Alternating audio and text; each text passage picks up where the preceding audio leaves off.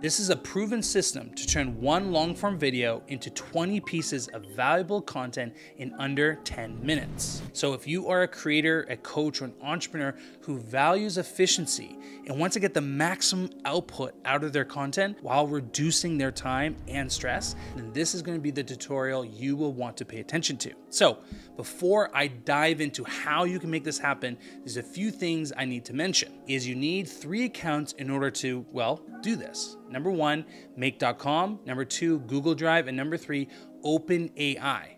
Note that sending requests to OpenAPI will incur small charges. You can see all the details on the API pricing page linked in the description below. But we're talking about small charges only for a few cents per request or less. Additionally, every OpenAI account includes a $5 credit for API usage. If you've already used up that complimentary $5, then log into OpenAI API portal, go to billing overview, and add a payment method. There's no set monthly fee to use the API. Instead, you'll be charged for your usage every month. You'll also need a free Google Drive account in order to make this happen. So let's go ahead and move on to the full breakdown of how this automation works. Okay, so let me first paint the picture of how this automation works. There's about five steps here that the automation is going through. Number one, it is watching files in a specific folder. So after I record a video just like this, I will upload that file to a folder. So let's say I call this folder new videos, right? That's the folder, okay? And I will upload that file to that folder. What then the automation will do is download that file and send it to OpenAI to transcribe the file because ChatGPT can't read a video or audio file. You have to transcribe it first. So the first action transcribes it. Then what it does, it actually then throws it into a ChatGPT chat, like, and gives it prompts to then create the repurposing of the content. And the final product is this you get YouTube titles, YouTube description, time codes, Facebook posts, Twitter posts, link, um, Instagram um, carousel ideas, you name it, okay? So that's what this automation will do. Now, I'm gonna walk you through every single step so that you know what you need to do so you can make this happen. So, the first thing you wanna do is set up your Google Drive folder okay? So you wanna go ahead, go to your Google Drive account, create a folder that you know you're gonna be uploading all your content to. This will work with a video or audio file. There's, but there's a caveat to this that using OpenAI, right, because it's by usage, the larger the file, the longer the, the video, the more usage you will use. So depending on how large of a file you upload, you will need a bigger budget. I have uh, a content agency, and so because I do large volume of videos and audios, I have a lower budget. And so, uh, so I can feed the beast that is all the content that I need to make.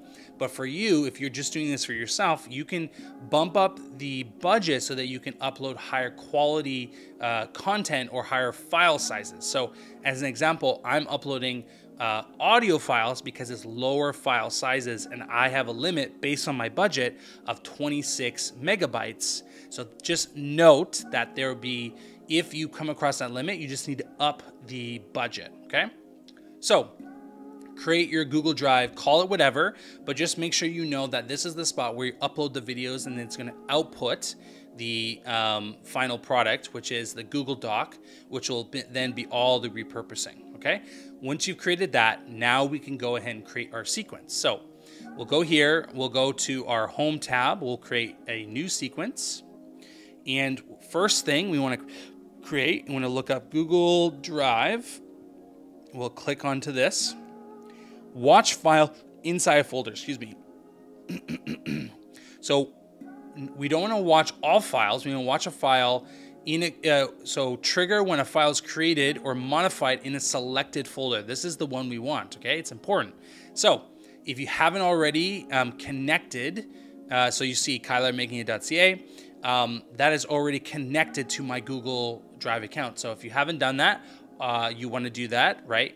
Then you can go ahead and uh, click here. Its default is by created time. I wouldn't change that, keep that the same. Choose drive. I only have one Google Drive, so um, I don't want shared Google Drive or Google Shared Drive. I just want my Google Drive. And then I will select the folder. So if I go here, I'm going to select the folder. So I'm going to go to Making an Agency. We're going to go to Clients, and we're going to go to Kyler Miles because I'm a client. And then we're going to go to the new folder that we just created called New Videos. I'm going to watch all types, right? And we're going to limit to two. Perfect. Press OK. Now, go ahead and click on the side here where we want to create the next thing. So the next thing we need to do is now we've uploaded it, but ChatGPT needs us to download the video. So look up Google Drive again, tap here, and download file. So downloads a file. So this is very simple, very easy. Same thing.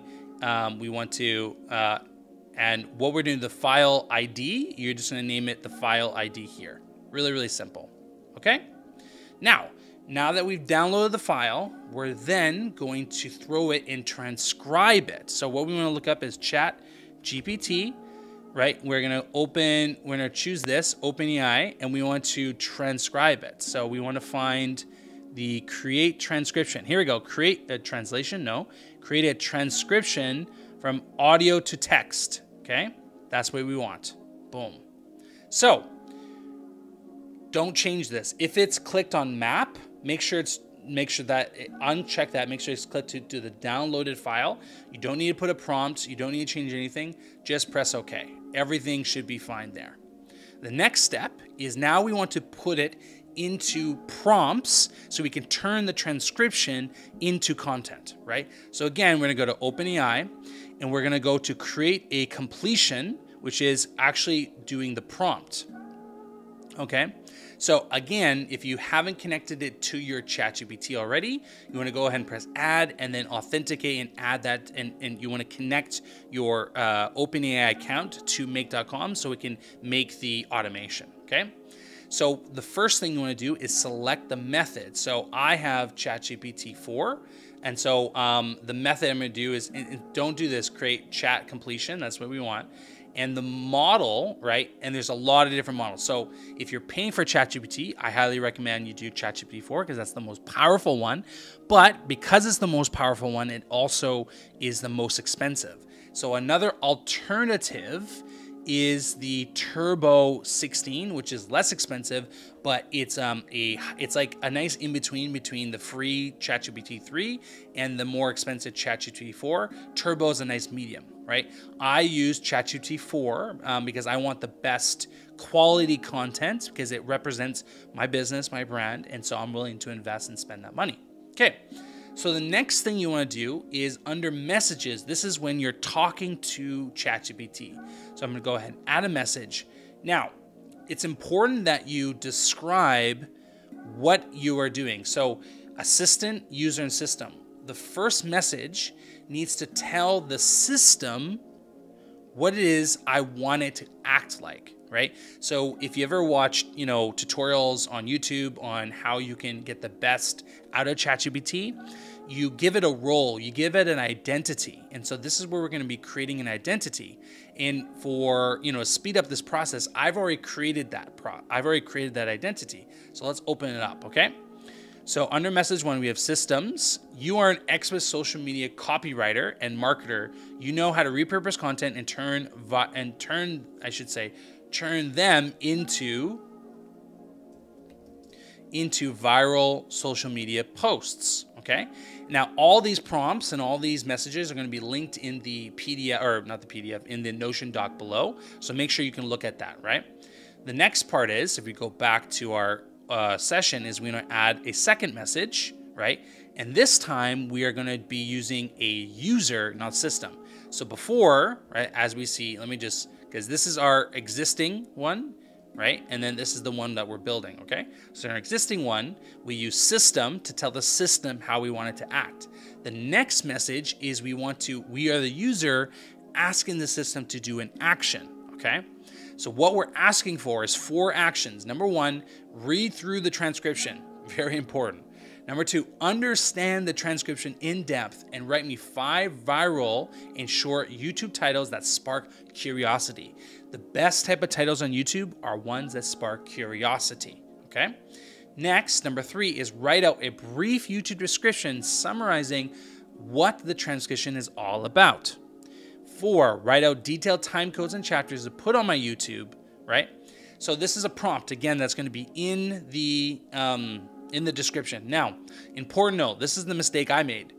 You have to make sure you include. So when I click here, you see how this menu pops up.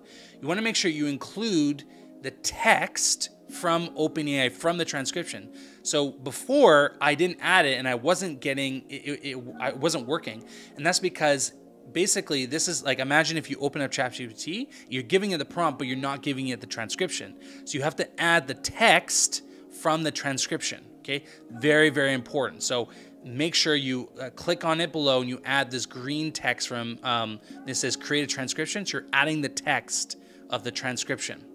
The third message that I used is I wanted to write a Facebook post. And again, to save time, I'm not going to go through this prompt. You can just copy it the last one, um, actually, the two more I made, pardon me, is for tweets, and the last one is for Instagram carousels. Now, you can add like unlimited messages. You can add, like, if you wanted a LinkedIn post, a Facebook post, a Twitch, you know, a YouTube, um, uh, uh so what I say, uh, you want Instagram carousel, you want LinkedIn, you want a Facebook, you want Twitter, um, whatever social media app, you can create unlimited messages virtually that you can create hundreds of pieces of content. You just the messages are basically open chat um, boxes that you're chatting with ChatGPT. Okay, so once we've created this these roles, we can go ahead and uh, oh, almost forgot. So um, the last thing. Uh, let me minimize this so it makes more sense. So the last thing is uh, maximum tokens.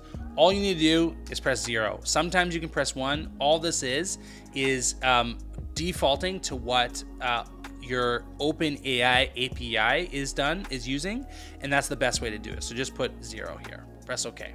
Okay, so now that we've created the folder, we've downloaded the file, we've created the tra transcription, we've now embed, we've told ChatGPT how it should act, and then we've given it all the prompts. The last thing we need to do is create, well, the Google document. So we'll do Google Doc, okay? And we'll go create a document. Okay.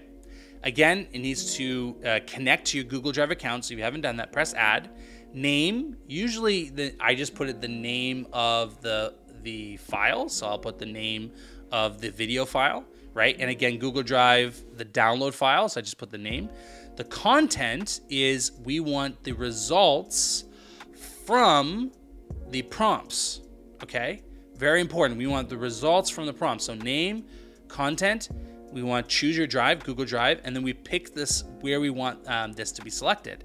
Now, another mistake I made was I added it to the same folder where the videos were, but then that F's up the sequence because this watches for any file in that folder. So you don't want to add it to the same file. You want to add it to a different file. So again, I went from making it happen agency, clients, Kyler Miles. Now before I went into new videos, but we're not gonna do that. We're gonna put it in here, okay? So now this is the complete sequence that we're gonna do. So now that we have the complete sequence, let's go ahead and run it and see what happens.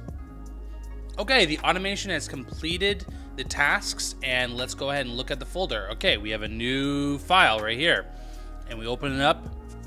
Look at that. YouTube titles, YouTube description. We got time codes and chapters. We have a Facebook post. We have a, a tweets and we have an Instagram carousel post. And that is how you do it. That is how you can repurpose one long form video into 20 plus pieces of content in under 10 minutes. I hope you found this valuable. If you want to learn more on how you can do this without the automation, like more manual, I have another video that you can check out and watch right now here on YouTube. So go ahead, click on that video and check it out. Hopefully you find it valuable. Peace.